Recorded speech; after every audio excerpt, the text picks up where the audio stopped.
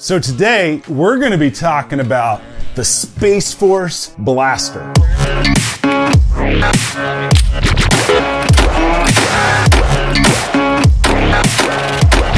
So what's up, my favorite PewTubers? I hope you guys are doing really well today. So guys, if you didn't see my original video on the CZ P10C versus P07,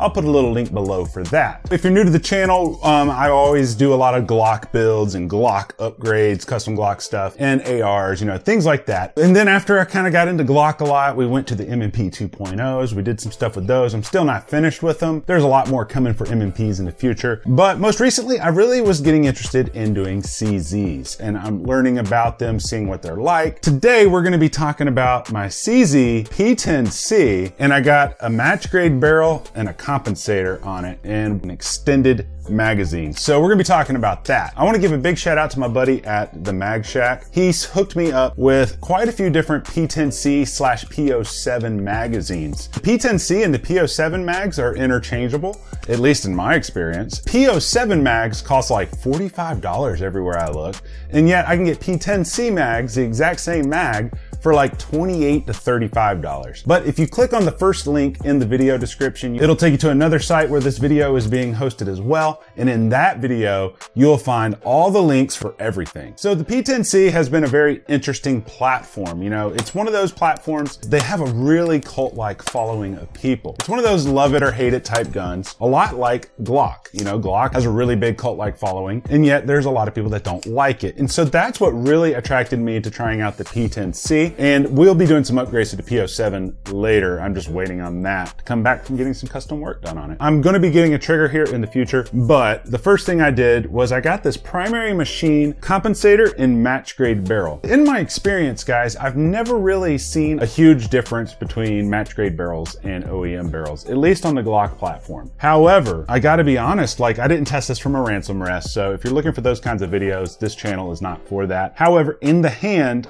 I got noticeable tighter groups. And I actually have the uh, paper target here with me from the range, so we can analyze that a little bit. But yeah, I tested it with the match grade barrel and without it. And I gotta say, I definitely noticed a difference. A couple of things that I look for in a compensator, whether it's for a Glock or any type of handgun that's semi-automatic, I wanna make sure that that compensator will cycle with range ammunition and with the OEM guide rod spring. The two reasons that I find that that's most important is number one, I know that if it will cycle with range ammunition on a guide rod spring, it will have no issues cycling self-defense ammo or plus P ammo, things of that nature. There have been a couple of compensators for the Glock that I have tested where I needed to reduce the powers of the springs. When you start reducing the power of the spring too much, it will make it where the slide doesn't want to go into battery every single time, which that's not good for any carry gun. Another interesting thing about CZs is they do have a little bit of aftermarket support. I would say they have about the same or a little bit more aftermarket support than the, the M&Ps and the M&P 2.0s. And the reason I say that is I'm starting to see all kinds of stuff popping up on Instagram, which we'll have videos about in the future. I'm seeing magwells, barrels, triggers, compensators. I'm seeing slide work, stippling. So yeah, that's that's really good to hear because the one thing that really bothered me about my M&P 2.0s is I can't find a minimalist magwell. You know, a minimalist magwell is very slim so it doesn't stick out when you're carrying it. Can't find one for the M&Ps. I find magwells, but not the kind that I want to carry with. The good news with this is I'm starting to see those pop up. As far as barrels are concerned, I never encourage anyone to purchase an aftermarket barrel for the sake that you think it might make you more accurate, because it won't. But in some instances, it will tighten up groups, you know, at a certain distance. Usually you can't tell a difference. So with that being said, let's dive up close. Let's take a look at the CZ P10C. Let's take a look at the barrel. Let's take a look at the compensator, the light, and then we'll go over to, we'll look at the paper target to see the difference in groups. And then we'll go over some range footage and things like that. Also, just a FYI, I bought this compensator and this barrel. Primary Machine did not send it to me. So at the very end of this video, I'm going to tell you, knowing what I know now, if I would purchase it or not. So here we are up close with the CZ P10C. So far, we haven't even done any modifications to it until just now, which is happens to be the barrel and the compensator. We also have uh, the Surefire XH35 weapon light on there. Really cool thing is, you know, you can buy this in a couple of different variations. For example, if you have the CZ P10C or P07 that has a threaded barrel, you can buy just the compensator alone. If you don't have a threaded barrel, you have two options. You can buy this barrel and compensator as a combo and it comes out to like $300. Or you can go get an OEM threaded barrel and get this compensator and you're not really gonna save a whole lot more. So that's why I purchased the barrel and compensator combo. Now, one thing, I'm not gonna take this off because it's Loctited on there, but we're gonna take a look at it up close. Um, the threads that are on it, here's the thread protector, and I will say the threads that are on here are some of the smoothest threads that I've ever felt before. So some quick tech specs about this. Nine, it's chambered to nine millimeter, it's hand honed and polished. It's 416R stainless steel, has a 1 in 10 twist rate, um, and it is button rifled. The threads down here are 1 half by 28 thread pitch. They say that this, and you can see this contour right here, it says contoured for added grip and relieved for internal O-ring. So one thing I like about this is it has an O-ring built into it. That is really nice. That's something that True Precision does on their Glock barrels and I believe they're M&P barrels. And I'm really happy and excited to see that on here. And I'm excited to see more companies doing that just because a lot of times you get a threaded barrel, you know, you buy one and it doesn't come with any O-rings. Now you got to go digging around in your parts bin or go out to the store and find the right O-rings. So I usually go to 99 cent store. There's usually a pack of O-rings for like a buck and there's a ton of different sizes. So that's usually what I do um, if it doesn't have an O-ring with it. Is uh, you can get this barrel in black nitride or titanium nitride. I would have gotten the titanium nitride, but it was out of stock. So I got the black nitride. I was just like not gonna wait on it. Um, also, this is a match grade barrel and it has the SAAMI spec chambering. And what that means is it has tighter tolerances around the casing of the bullet. And that way, if you ever had a double charged load, it has a less likely chance of blowing up than splitting this barrel than if you use OEM barrels. So that's basically what that means. And theoretically, match grade means that the lugs are a little bit tighter, and it also means that the lockup should be tighter so you can get better accuracy. But like I said, I never recommend buying a barrel for accuracy. So let's get up close with it. So right here, you can see Primary Machines logo on the side, very tastefully done. On the top, it's very tastefully milled and says nine millimeter. I mean, I love the way they milled this. It's beautiful. Here's the compensator. It is chamfered. It almost, it matches the profile of this slide. Let me get my hand back here. I mean, it matches that profile. Beautifully done. I mean, there you see it right there. It's a little bit different, but not much. It's really close. So it really matches the profile of the slide, which kind of makes me wonder how I'm going to get my slide work done. I, I contacted primary machine. And the reason I had I bought this was because they're so busy. Like they didn't have anything that they could send me. So I just went ahead and bought one. So on the bottom here, you have their logo and I love how they did the 45 degree angle set screws for this compensator. That is really, really nice. Here is what the flutes of the barrel look like. If we pull it out like this, it, it's beautifully done. It's a nice, I call it the candy cane, but they call it spiral fluting. And like I said, you can get this in titanium nitride or black, but usually it's just easier to get the black.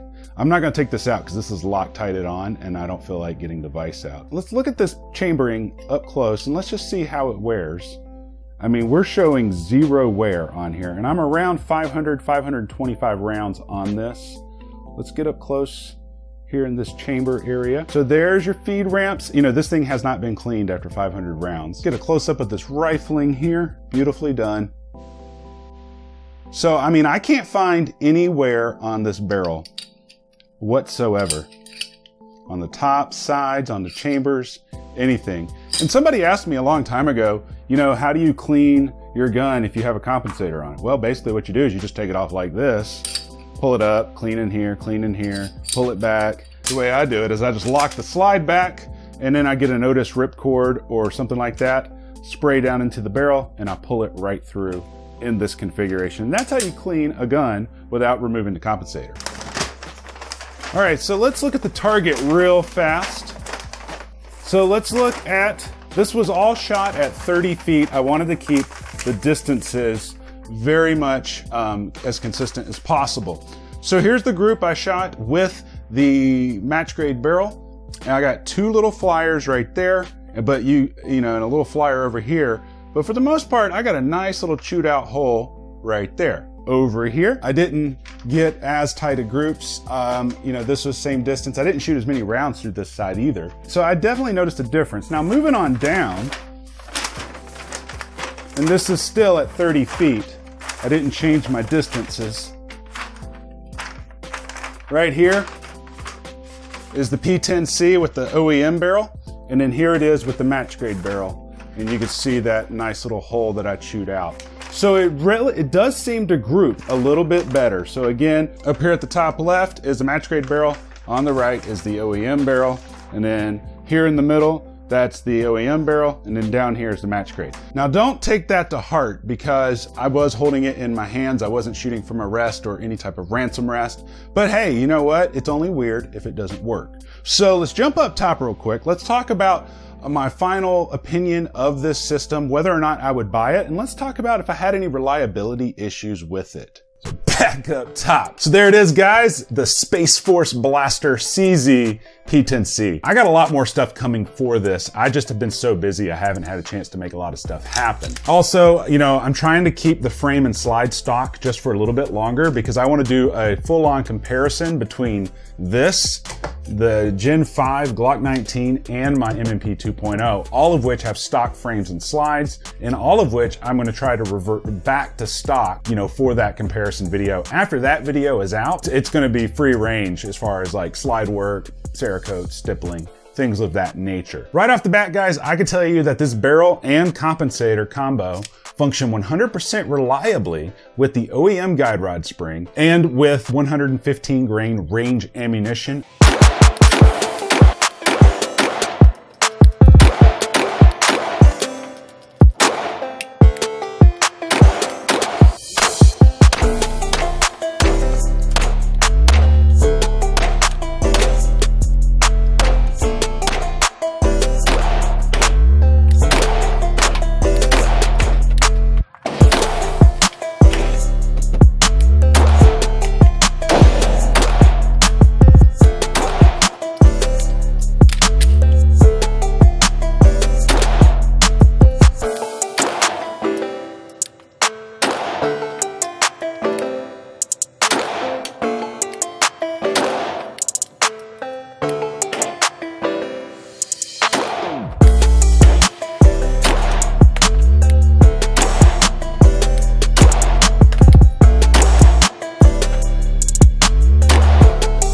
Big shout out to Fancy Brass Ammo for sending me out some ammo to use in testing. If you follow the first link in the description below and stuff like that and links for places like Fancy Brass Ammo, I gotta say their ammo is some of the most consistent ammo that I've tested. What's cool about it is it's actually remanufactured ammo, but it's more consistent than anything I can buy at the big box stores. So that is really awesome. The compensator, definitely passes the test that I have for a compensator. It definitely pushes the sights back down faster so you can get your next follow-up shot faster. A couple of concerns people typically have with compensators is they're worried about getting burned or they're worried about muzzle flash. This is how I kind of look at compensators. You're gonna get muzzle flash whether or not you have a compensator or not. However, with a compensator, it actually redirects that muzzle flash in a predictable pattern. If you just have a, you know, straight cut off barrel, that muzzle flash can kind of be unpredictable and go in this direction or this direction at least when you have these ports,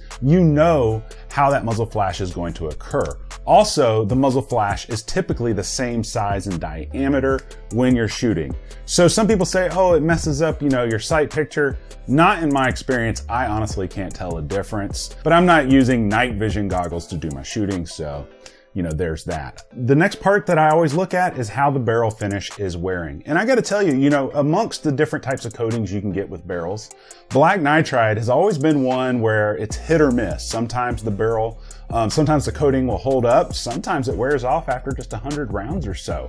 And I gotta say, you know, right now I have about 520 something rounds through this, and it's not even showing any signs of wear.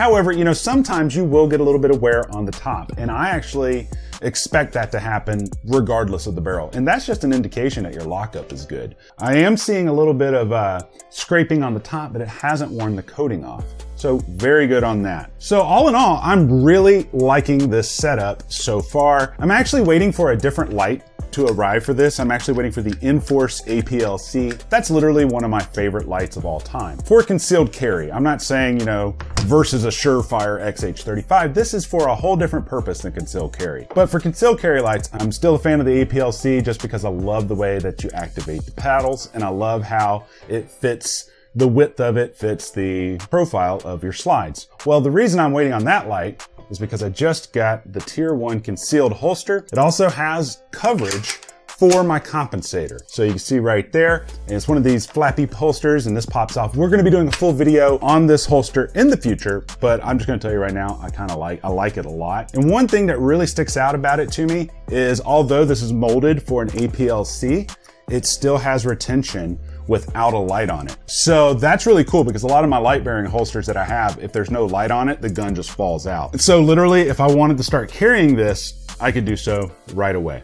So very nice. Um, it also has relief for an RMR cut in case I do that in the future. So the pros of this comp and barrel combo is it functions 100% reliably. I noticed a little bit of an accuracy difference in the hand, um, noticeably tighter groups from the same distance using the same ammo, um, using the same target and gun and everything. So that could be circumstantial. Maybe I was, maybe it was a placebo effect. I don't know. So I will say this, um, the price is, it's actually priced just right. It's not too expensive and it's not too cheap. Um, sometimes if things are not expensive enough, people don't think that it's valuable because the price is too low. But I will say, I think I paid right at $300 for this combination. So I have nothing but great things to say about that. Um, they do have different types of colors and things like that. But like I said, you just check the first link in the description. That'll take you where you can find all the links and coupon codes for all this different stuff. I highly suggest getting their barrel and getting this compensator. It runs flawlessly. It really does a good job on compensating. So kudos to them. Now let's talk about the cons of this. It's a little bit long. It's a little bit on the long side for sure. Lately, a lot of aftermarket companies have been coming out with these stubby comps for the Glock platform, and I think that that needs to happen for the CZ P10C, just because a lot of people do conceal carry with this gun. But yeah, I mean, that's what I think about it. It's a win. Now, we will be doing a more in-depth review on the P10C, you know, just as a stock gun here in the future. So if you're not subscribed, just go ahead and hit the little subscribe button down below. That way you can see that video, you can see the holster video that I'm gonna be making on it. And if you like this video, just go ahead and smash the like button, you know, or not, I don't really care. But until next time, guys, I love you and you guys stay sexy.